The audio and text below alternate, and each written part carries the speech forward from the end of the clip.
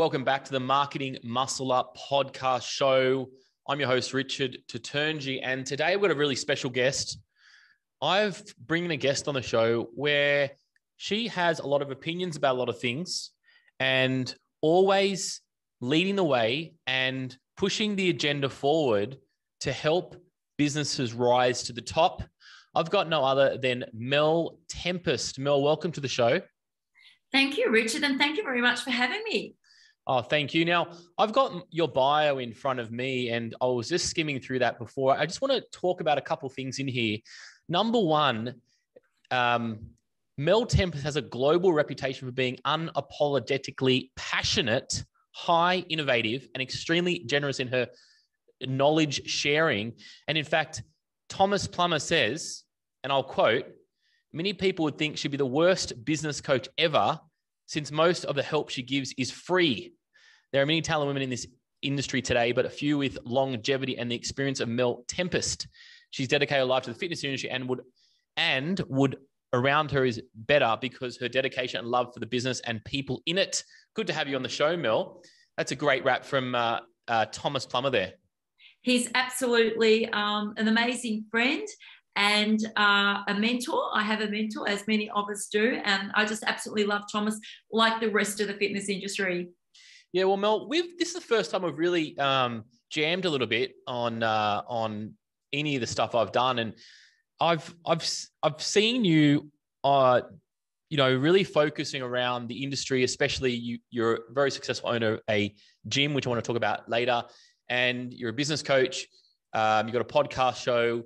You're out there, um, basically sharing what you feel is the right message to a lot of people, and we work in COM Marketing, we work a lot with studio owners and personal trainers, and you're on the other side working with gym owners. And I've been sitting on the side listening to how you know you um, get yourself out there, and I think uh, we talked about before. You've matured in some of your um, what's the word? You've matured in a lot of your uh, messages on social media, and I really feel that uh, this is a Mel 3.0 we're seeing today and this is why I'm really excited to have you on because there's a lot of changes that have happened in the industry over the last two years, as we know through COVID. And um, you're based in Ballarat in Victoria, as we know, closed down. I think it's seven times. Is that correct, Mel? Lockdown uh, seven times. Yeah, eight actually. Eight, eight. close to one. Uh, I think it's three over 365 days in closures. Yeah. Um, and you've been um, like a lot of other you know business owners in Victoria, you've been um, leading the way, serving your community, and I think over two years, it's it's it's you've got a, a, few new concepts of how you do things and things that you've also haven't liked seeing as well. And that's what I want to deep dive into today. I'm really excited for today, Mel. Um, Mel, I'm going to be careful of my question asking for you because if anybody knows Mel, Mel uh, could talk all day and we could jam here all hours. So I'm going to be quite a short with my questions so I can get the best out of Mel today. Is that okay? Absolutely. so listen, I, I want to have just a big broad one. Um, I, you sent me through an autobiography, which is an outstanding piece of work. And I think, well, I think everybody should have their own autobiography. So I think that's uh, a good piece. Anybody wants to dive in that, I'm sure they can find that on my website. But my first question to you is, I want to touch on the concept of you being a fitness business owner, especially a gym business owner, and you've been very successful at that. I think over 20 years um, in that space. Can you just tell me?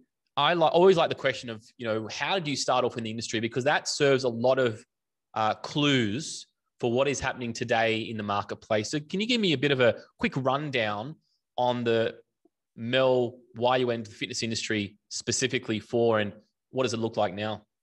Uh, so I joined the fitness industry because I'd been out of work for about 18 months and I'd been taking care of my grandfather who uh, was dying from cancer. And my career before that was in the real estate industry. So I had to leave the real estate industry, take care uh, of my grandfather. And what year was that, Mel? Sorry? What year was that?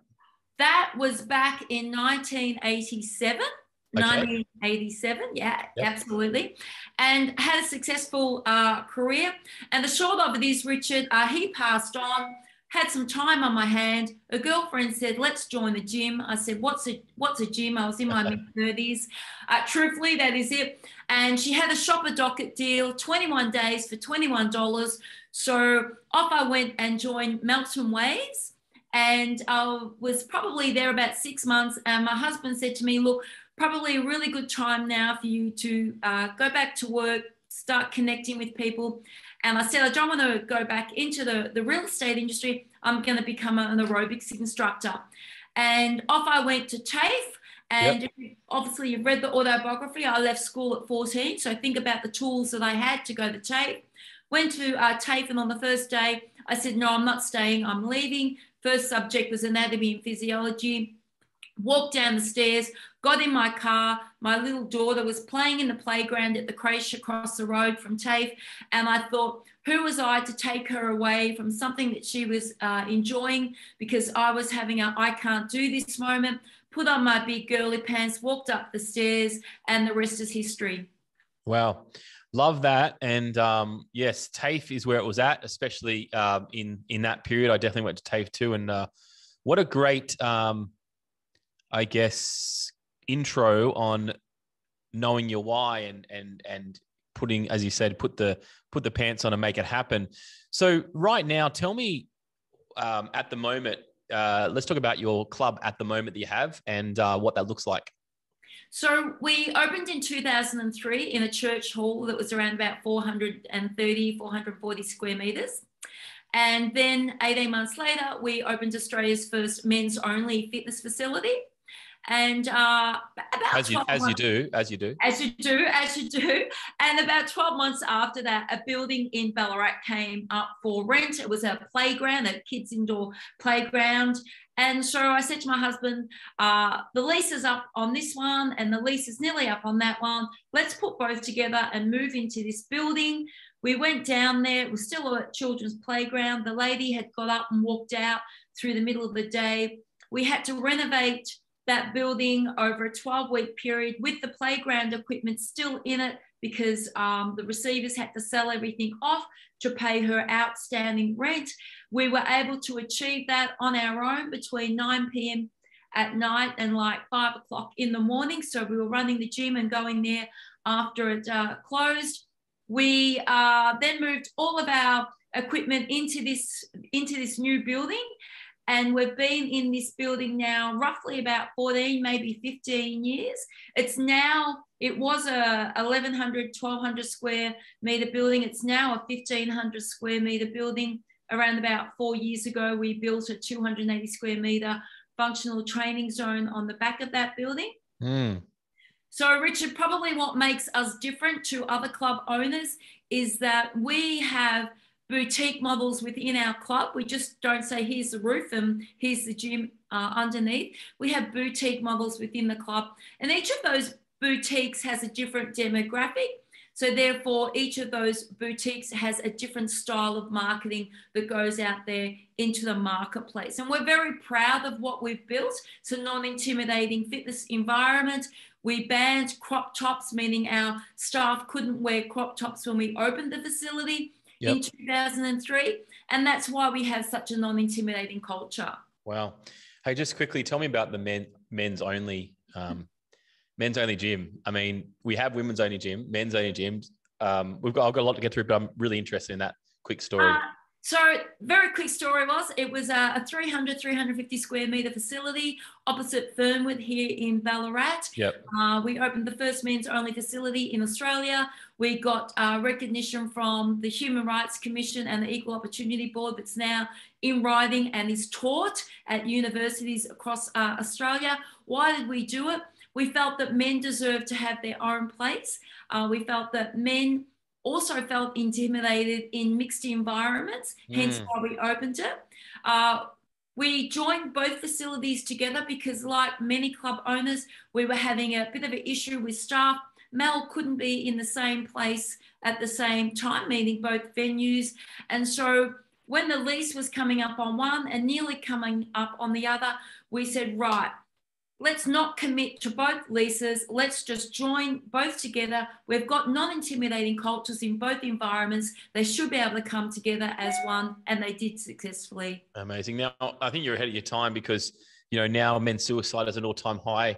Um, men is a huge problem there. And, and I like the thinking behind that concept. Um, you know, now there's everybody's trying to get men together and uh, men shed programs. And I think it's a great, great initiative but uh, obviously, it's a huge problem still. And um, you know, the thinking back then, uh, definitely, I think, on the right path. Mel, I want to. I've got kind of three or four things I really want to um, engage with you and have a have a bit of a jam together. Um, first up, let's talk about it. Let's talk about the. I guess let's talk about this. I mean, you've been in the industry for a long time, and as I said, you're you're a consultant to other gym owners you um, you know you send your message very clearly because again in your words you don't you not you don't have an agenda. It's like the agenda of you know successful business owner is like you know what what's the best for our concept? But i want to talk about this thing around the old school the old school club owners that have been around for a long time um, probably before any industry body or you know they've, they've done their time and they're doing it their way still. And over, uh, I guess, my, you know, they're they're they're a bit old school thinking, old school fashion, and you probably can, you know, if you're listening to this, you can probably think about, you know, what's that old school gym that is always around, probably a bit dirty, probably doing it their way, not connecting probably to a new fitness first or a, a nice and fancy club. Tell me about this, Mel, this old school mentality and and what your thoughts are on this. Yeah, look, I sort of thought it was behind us until COVID hit, Richard, and then it was quite uh, eye-opening to see that there are so many club owners still thinking back 70s and 80s and even the 90s era. Mm. And I truly do believe that, and I respect the fact that they opened a club was because they were passionate about what they were doing yep. and that they wanted to change lives. But imagine how many more lives they could change if they changed the way that they think and that they change it, change their business models. We need to understand that consumers now are more softer. And when I say that, it's not like back in the 70s and the 80s where, you know, you had the mullet and you know everybody walked around with with tattoos and you know biceps and a, a tinny in your hand mm-hmm. we're a much more softer human being now yes. and therefore our marketing needs to be marketed towards that that type of person and unfortunately because the old school mentality won't change the way their businesses are they're actually missing out and when they miss out what happens is their profits drop off and what happens is they end up either locking up shop, giving away their business when it's time to sell, and walking away with nothing. And I think if they just cho- if they chose to change the way that they think, change their business model, uh, opened up their minds to listening to other people, that their business businesses could become more profitable, which means that the lifespan of them staying in their business would be longer. And the old school way of thinking is comes back to what they put out on social media, even if they have a social media platform. Um, the types of equipment they have in the club. Is the club clean? What are the posters and the pics on the wall saying about themselves? Uh, how do they speak when they're on social media? Because all of that becomes a representation of our industry. Mm. And that's when COVID hit, that's what, what government did was said, okay, wow, what's this thing, the fitness industry? Let's get on social media and have a look at what the fitness industry is. And old school did represent us. As, so the, the new school, but I feel in some ways that old school overpowered the new school. Why do you think old school is overpowering the new school? Um, because I just think that as an industry, we haven't represented ourselves very well. Yep. I think that in a way, we are to blame for how government has perceived us, just in the way that we throw out our marketing. We're so busy selling the message of sexy and new and young Yes. And that's how government perceived us when we should really be selling ourselves as it's okay for obese people to come to our club. It's okay for people with chronic illness to come to our club. It's okay to wear daggy tracksuit pants and over oversized t-shirts. This is okay. This is acceptable. These people do come to our clubs, and we haven't projected that in our marketing. We're mm-hmm. always selling sexy because we think everybody wants to feel sexy but in in in the real world people just want to feel healthy and they want to feel healthy you know heart wise physically mobile and mentally healthy as well. And you don't have to look sexy to be that way. Well, I agree with that comment. I mean, we know that um, in the you know members of gyms and um, fitness studios, it's something like under fifteen percent in Australia is connected to these facilities, and do you think that's the problem then, Mel? Is that we have really just done a poor job of that marketing, as you say? Like, is it, is it, you know, let's say you got the old school and then you got the new school. Is it everybody must get along? Like, how are we going to get these guys to move along? Or is it just a time thing? I think how are we going to get them to move along? Uh, I think you and I, for starters, can start the ball rolling, but with the marketing that we throw out there, suppliers, you know, suppliers that sell equipment. Look at all of those big brands. Let's all pick up a magazine of the latest suppliers going. I've never seen somebody in a baggy t-shirt, Mel. That's exactly right. That's exactly. But those people, they don't want to always be a size eight 10 or 12. They're comfortable being a 14 and 16. And there's more of those people out there than there is a size 8 or 10. And there's more of the 14s and 16s that can sell the latest innovative treadmill and exercise bike. So let's start using them in our marketing. Let's start using them in the message that we're selling. Mm-hmm. Um, and we need to be doing that. And people just need to be braver and stop fearing that oh, geez, you know, if I go out there and do that, does that mean my competition is going to sell more treadmills because he's got a sexy 21 or 22 year old on the treadmill or a sexy 25 year old young guy lifting the latest dumbbells? Come on, where's the money at? The money is at where? The 35 to 40 market. So let's get these people in our marketing. Mm, very good. Mel, while we're on this subject of um, old school thinking, um, let's talk about COVID. You, you're in a um, uh, state worst lockdown in the world, Victoria, eight lockdowns.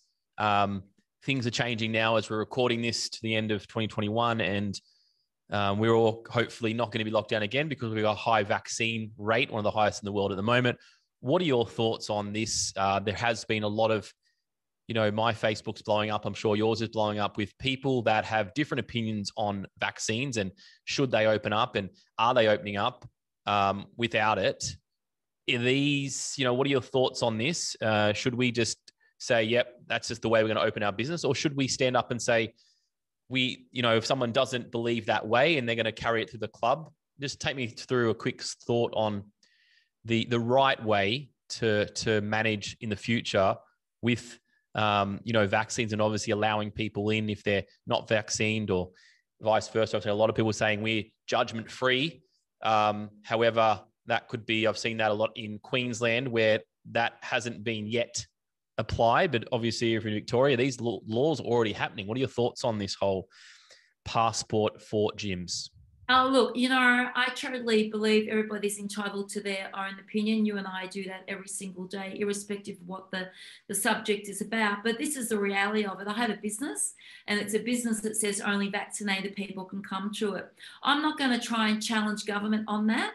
I opened a business to change lives. And so, therefore, I follow what I have to do, and that is I have to be vaccinated, so do my staff and so do my members. Am I being weak doing that? Absolutely not, because there are other ways that I can help unvaccinated people. It doesn't eliminate me from doing that. What I'm saying is, I'm a business person who has a business. I need to open the doors. I need to keep my staff employed so they can have food uh, on the table and pay their bills. And I have a whole generation of people out there who are vaccinated who want to stay healthy. Um, you know, if you don't want to get vaccinated, that's totally cool. That's up to you. It's your body. You do do what you want with it. I can still meet your needs by providing you with online fitness if you're an unvaccinated person people that have opened clubs and say, hey, let's just open the doors to everybody. I don't care what the Victorian state government says. Well, if you want to be that person and you want to send that message out there, that's totally up to you. But you need to remind yourself why you entered the industry. Did you enter the industry to change lives or to, to create noise? Which, you know, as I've noticed over the last couple of weeks is starting to diminish. People really aren't jumping on that bandwagon anymore. People are getting on with business, whether it's a cafe, whether it's a gym, whether it's a retail shop. People are now understanding this is how it is and this is what we need to do. You can't travel without a passport. You can't travel to some countries without a visa. And you can't travel to some countries without getting a jab in the arm. So let's just all wake up to ourselves and just say if we want to get on with why we entered the industry. This is the way it needs to be. Either follow it or shut up shop and let those who want to do it the way it's supposed to be done do what they need to do. Very good. Um, definitely, if you don't, you know, it's, it's like the saying, you know, what do you want to die on that hill? It's a pretty big hill if you want to die on that one. And it will probably uh, take you out of the why and uh, bring you in a whole bunch of frustration. Good strategies there. So we talked about the old school. We talked about um, you know what what the thoughts are with COVID and what we should be doing here moving forward. So I like what you say. You know, if you don't want to participate in this, shut the shop, find something else to do, move to another planet or universe. Um, I don't know where that where that exists, and otherwise, you know, focus on the why and get people healthier, happier, uh, more motivated in their lives. I think that's a good scenario there. Let's continue this with the question of um, I mean, I like this, gyms. We worked a lot with studio, um, you know, independent studio owners and and franchise studio owners, and the market has shifted a lot. When we look at an F45 that came on the the landscape probably a decade ago, decade ago, there's a lot of boutique places opening up. Then we've got our gyms that old school gyms, you know, charging a very low, low, low membership, you know, volume based. Um, we we always focus on um, you know the value of what someone's going to get how that's going to make them feel. You said that you've put a new area in your gym 250 plus square meters of boutique space um, and you had a uh, a functional space i should say. You had a group exercise room. Um, that's when i started off doing the um, the aerobics the grapevines and things like that and raining man raining man was my first uh, intro at tafe that's how i learned as well. Didn't love the old aerobics but did it just to uh, tick off the uh, the exams, that's for sure. But um, you're opening up a functional space. Tell me about that. You know, a lot of gyms are still in that mentality that they got the right way.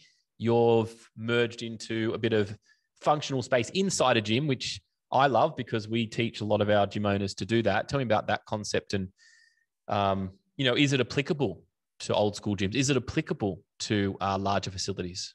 Uh, anybody can put the functional training zone into their club. They just want to they want to want to do it. That that's the first thing. Uh, we put ours into our club. It was a two year fight with the council, so we started the journey about four years ago. We had a small area uh, in our club, and uh, the size of the people attending the classes within the club itself was starting to get too big to keep it running but we also had group fitness running in another room and, and our cycle classes in another room. So we went to council and we said we want to build a 280 square meter room onto the back, fought with the council for two years, finally got uh, approval with that. And it's a pretty Mickey Mouse um, piece of work, I have to say. It's not, you know, your green piece of carpet or your blue piece of carpet with uh, battle ropes and kettlebells and that's it. We've got some really cool equipment in there. Uh, and each class that's running there, Richard, has a different theme about it. So it's not like somebody rocks up and it's a, a different instructor, but they're still going to use the same kettlebells, the same battle ropes. You know, we've got boxing in there. And we've uh, just recently put in aqua bags. 12 months ago, we put in aqua, aqua bags. We've got box masters in there. We've got standing, freestanding boxing bags. But then we've got the HIIT mill, which is a very uh, we've got four of those. That's a very unique piece of equipment. we've got the air bikes, we've got the CrossFit platforms, we've got synergy units. So this is a very unique functional training zone. And uh, we got Gavin Aquilina in four years ago to train our staff up on how to deliver HIIT classes that were going to result in the members getting results. And that zone has just gone totally off. And what we're actually doing now, and you're first to hear about this, is yep. our, our group fitness room is also around about 260 square meters. So we're actually going to have two zones uh, in our club. And this is going to be uh, our group fitness room is going to be the mobile functional zone, meaning that the equipment can be picked up and moved to the sides so that our normal group fitness programming can be run. And this, this is going to include, which is already in there, or is sort of already half uh, running these classes. We've got Spark trainers, we've got water rowers coming in a couple of weeks, we've got fit benches coming in a couple of weeks. We're already utilizing uh, escape steps in there, and we're already utilizing uh, other bits and pieces of equipment. And when that equipment is put away, Yep. We run our well-being classes, Richard, with the bar, you know, the bars along the wall for the barre programs and well-being, yoga and Pilates. And then, of course, we've got group fitness programming and we uh, run still programs and we run a lot of freestyle programs in our club. And we've been innovative in the way that we do things. We see the marketplace changing and we know in order to keep our foot traffic coming through the door, we have to change with it. So therefore, uh, I've spoken to you before about this. We have several different boutique models within our club. Mm, and they're different price points as well? Uh, so in our club, we have a one-stop shop. Yep. So when you come and join us, you only pay one price and everything is included. And there is a reason that we're able to do that. And we can discuss that later in the show. But when I talk to other club owners about building functional training zones, I do say to them that you do need to upsell that within yep. your club. Uh, though we don't do that in my club, I do recommend to other club owners to do that because we are in a very unique position. Mm, excellent. I love the innovation there. And already it's just it's just pushing boundaries all the time. It's interesting changing the concept of having to do the same but always innovating. I think this is something that's maybe new over the last 10 years ish. And new is actually where it's at. Always keep updating, updating, updating. It's exhausting though for some business owners, Mel. I can understand the business owners that, hey, I opened up a studio, I opened up a gym, let it be.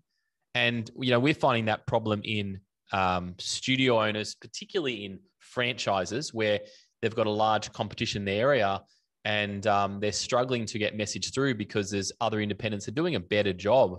Um, they're working their brand better. And, you know, some of the franchises just putting their brand out and expecting all the business to flood in, but then sooner or later the retention sucks. Is that is that where it's in today? Like, you know, you're an owner operator. Do you have to be an owner operator, do you think, in the future? Oh, absolutely. You have to have your hands on your business every single day. That's that's what makes your, your business tick over and become profitable. Um, I would have to say that independent club owners are in the perfect position right now to be more successful than large commercial franchise businesses uh, because of the freedom that you have within your club. Yep. Uh, when you said just a moment ago, you know, the, the thought of uh, just let it be, I would say to you, please don't let it be because there's a lot of competition coming to Australia in the next 12 months. And if you're not moving forward and being progressive, the competition will take the members out of your club. There's absolutely no doubt about that. So if you're a, a, an independent club owner and you're working with Richard, I would strongly suggest that you guys all sit down and have a look what's happening globally. Have a look at the content that's happening inside these boutiques. Don't worry about the name but look inside and look at the content and look at how you can replicate that content into your own business but tweak it to suit to suit your own demographic. And that alone is going to help you be successful. Don't wait for the next boutique to open up three doors down the road and then go, oh my God, they've got this and get that. I'm going to get on the phone to the supplier. I need this last week. get on the internet. That's what it's there for. It's the most knowledgeable tool that you'll have. It's the best publication that you can flick through and have a look at what's going on globally. Mm. Then sit down with your business coach like Richard and uh, discuss how you're going to turn your business around and make it more profitable. Mel, random question, but um, talking about making it more profitable, just a quick one. Do you think, you know, the studios, the gyms that did actually innovate through COVID I know you've done a great job of that. And putting in digital platform or putting in a um, on-demand platform or a Zoom live platform, does that, is that going to have to continue? You believe, or should we just, you know, for those who started, should we just close the door and think if it was 2021? Are we going to have to hybrid our gym or studio up in the future with digital as well? Oh, absolutely, absolutely. There's a whole audience out there that's uh, unvaccinated. Why wouldn't you want to sell your business to them and make profit out of it? I just mm. don't understand why you wouldn't do that. And it's not that hard to create a digital platform, Richard. You know, we flipped our business around within 48 hours and we started off with just the Facebook Live classes happening. And then we progressed through that. Now we've got around about a thousand classes and you know, there's a whole lot of our members who have chosen not to get vaccinated, who are still there with us in that group, who are still paying a membership to do those classes. But, you know, if you don't mind me just expanding on that, having a digital platform is not just about classes. So let's all get over that. Yep. Having a digital platform is also about coaching. Let's say you're the personal trainer, you sitting down and having a, a visual conversation on video with somebody who has set up a home gym. Why can't Richard write a gym program for that person? Why mm. can't Richard write a nutrition program for that person? There's so much more to it. And if Richard doesn't have the ability to write the nutrition program for them, let's get someone in that does that really well and let's collaborate with them and keep our client connecting with us instead of going off and perhaps buying uh, an app from somewhere else and doing something with someone else when they could be doing it with us. And maybe, just maybe down the path, they'll get vaccinated. And where are they going to come? They're going to come to Richard's Club. And I like the way you think about that. We're talking about unvaccinated people and you know when that will stop we don't know but you're saying that at the moment there's a demand um, you know in australia there's a at least a 10 15 20% demand whatever it's going to be of those people. Um, and i think that's a really great insight. Um, it's a it's a it's a medium term thinking concept which is great. And i think a lot of people have gone oh my gosh thank you that we can open our doors again. And it's just all the way there. And i was thinking like you know you you've got lockdowns or isolations. We don't know what the future is still holding. It's still very temperamental depending on what has to happen. One of our clients today just opened up in Melbourne and then they're in a lockdown as well for isolation. So good thinking. I like it. Um, Mel, I want to kind of veer the conversation a little bit off. You mentioned before you got in Gavin Aquilina. Um, you mentioned just then the collaboration concept. You've been, um, you know, shaking the industry up a little bit over the last probably four, five, six years, from my view. And I said to you at the start, I, I feel like you've matured in the way that you execute. And you've got a theory on this collaboration. And um, over the last probably five, six years, the industry, we're talking about the fitness industry, uh, maybe wellness industry, there's been a lot of discussions. There's been a lot of splits happening. There's been people that are pro FA against FA. There's been people that have been, I'm an online trainer, I don't need to be in the industry. There's been the influencers out there that have got their millions and millions in the platform and they've just stayed to themselves. Tell me about where you feel the industry is at the moment and where's it lacking to get to the stage that it does that gets to the stage, I guess, that we do get higher rates in gyms, that we are signing up more people, um, that people are, you know, understanding the fitness industry is not what you said at the start, which is not the the old school industry. What does this industry need to do um, to to raise the standard and to actually make more profit and to have longevity in the industry. What are your thoughts around that collaboration? Uh, Richard, I think you know the word collaboration is a little bit like the word pivot. We heard a lot of that throughout COVID. It's just an mm. overused word that people really don't understand. Yeah. You know, everybody talks about collaboration, but I'm yet to still see it in the industry. I mean, COVID was a perfect opportunity for us all to come together and say, we've got a job to do, and our job is to keep uh, gym owners' doors open. Our job yep. is to keep our consumers fit. And I really don't think that that happened. If it had have happened, and let's be honest about this, if it had have happened, perhaps um, there would have been less lockdowns. If it had have happened, there'd be more people working out in clubs at the moment because we haven't seen, you know, a great big vast majority of our members return to clubs. So I think collaboration is an overused word like pivot was throughout COVID. Mm-hmm. I think all of our associations have the same agenda. All of our associations have their own niche. And I don't see any of those niches crossing over.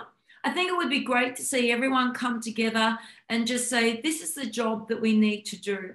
We need to keep our industry open and we need to get consumers back in the doors of gyms and create a campaign that really does see us working together. I followed all of the associations throughout COVID. Every single every single association did the best possible job that they could do with the tools and resources that they had all of the associations. It was so hard for everybody to get a bum on the table when they were speaking to state government. Uh, it was just so, so difficult because they didn't take us serious to start with. And that's because of the projected image that they had of us prior to COVID. So let's work together and change that image. Let's, let's change the image by changing the marketing. Let's change the education that goes out there to those that are now coming through the ranks that are going to be educating the consumers. Let's move sideways a little bit and let's say to the younger generation, you do a great job at ABC.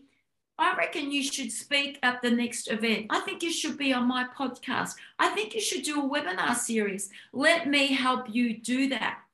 And we don't do that because we fear we fear other people might be better than us. Mm. And therefore we what we do is we falsify what we're good at in order to keep people coming to us when really we should be handballing them.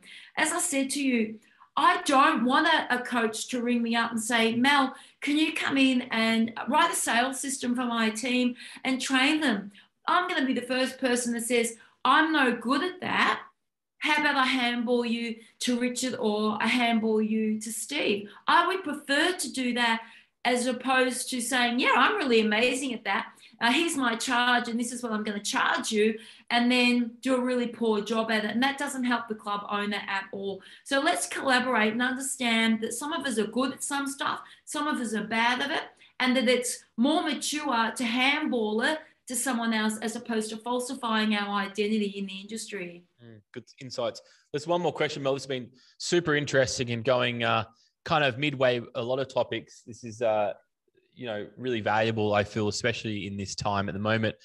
My last question to you, Mel, is that the industry has had a beatering over the last two years. We know that a whole bunch of uh, gyms and studios and industry experts that have been working in the industry have disappeared out of the industry. We have a job shortage at the moment, and there's a there's a reason for that. And I I feel that people get in the fitness industry. Yes, they're you know like me and you, we got in quite young, and you got to find the way that you can have longevity in industry.